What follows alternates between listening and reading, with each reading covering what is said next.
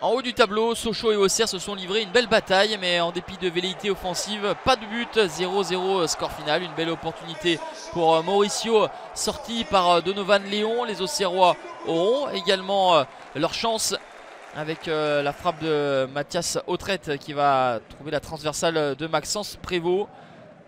0 à 0 score final, mais les deux formations gagnent une place. Les Lyonceaux sont deuxième, un point derrière. La GIA est troisième.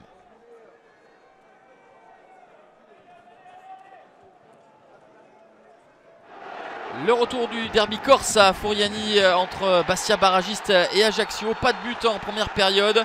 À la 49e, Benjamin Santelli provoque le penalty et le transforme. Quatrième but de la saison euh, pour euh, Santelli. Tous s'inscrits lors de chacun des quatre derniers matchs. Le sporting de Cyril Jeunechamp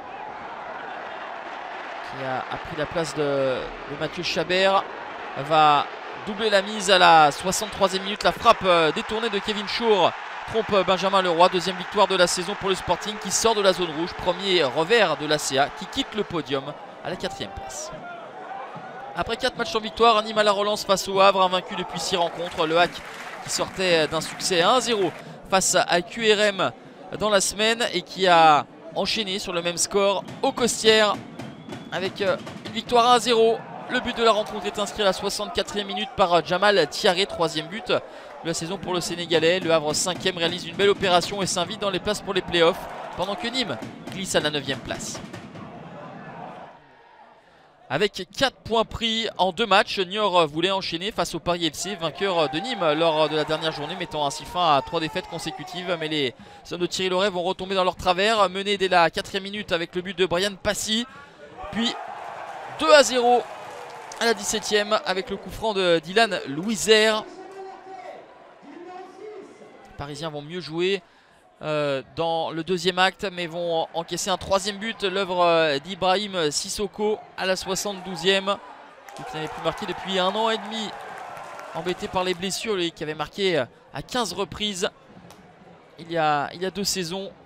Ibrahim Sissoko 4 à 0 avec euh, le premier but en Ligue 2 BKT de Lenny Valier à la 76e et le score final sera de 4 buts 1 avec la réduction de l'écart euh, d'Arnaud euh, Tadevin. Niort remonte à la 8 place à 1 point du Paris FC 6e. Camp Pau accueillait Dunkerque 22e minute. Ce sont les nordistes qui ouvrent le score grâce à Bilal Brahimi. Les Dunkerquois vont se retrouver à la demi-heure de jeu en infériorité numérique à la suite du carton rouge pour euh, Ayunba. Mais euh, en dépit de, ce fait de jeu, Dunkerque va tout de même marquer un deuxième but avec Malik Chokunte à la 40e minute. 2 à 0, ce sera le score à la pause. Les Palois vont pousser, réduire l'écart à la 67e avec Samuel Essendé, mais c'est insuffisant. Premier succès de la saison pour euh, Dunkerque. 19e à 2 points du barragiste. Pau est 7e. Intraitable à domicile ces dernières semaines, Grenoble voulait performer à l'extérieur. Et à la 25e minute, le GF38 obtient un penalty suite à cette faute de Lionel Mpassi. C'est Anthony Belmont qui va transformer en frappant en force au milieu. Grenoble pensait ravir ses tout premier point loin du stade des Alpes. Mais à la 94e minute, égalisation sur coup franc de Florian David. Un partout score final. Le RAF est 10e, Grenoble 15e.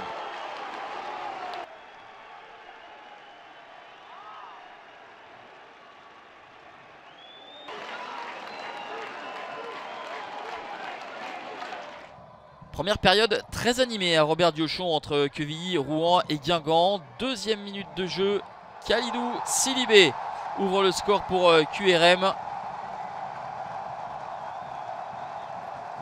Mais Guingamp va revenir à la marque 10 euh, minutes plus tard avec euh, Franzi Pierrot qui réalise un, bon contrôle orienté et élimine le maître sorti un petit peu à l'abordage. Un but partout.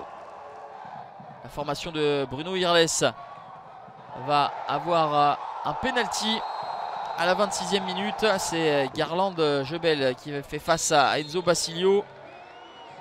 et transforme impeccablement son penalty pour son troisième but de la saison. 2 buts 1 pour Quevilly. Mais Guingamp va revenir une nouvelle fois grâce à Tristan Mayumba dans les arrêts de jeu de la première période. Deux buts partout à la pause. C'est aussi le score final. QRM est 11e, l'en avant 14e, un point derrière.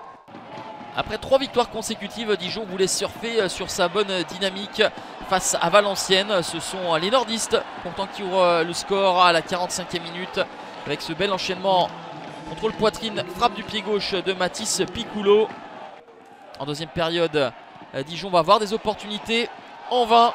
Deuxième succès de rang pour Valenciennes, 12e. Dijon est juste au-dessus de la zone rouge à la 17e place.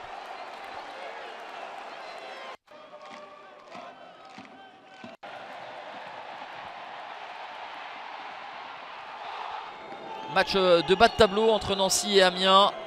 15e minute, c'est Amiens qui ouvre le score par l'intermédiaire de Formose Mendy, le défenseur sénégalais. En fin de première période, les Amiennois vont se retrouver à 10 puis à 9 avec deux cartons rouges. En double supériorité numérique, euh, Nancy va égaliser grâce à Giovanni Hague à l'heure de jeu. Mais ce sera tout. Toujours sans victoire, la SNL est dernier et se sépare de son entraîneur Daniel Stendel. Amiens est barragiste.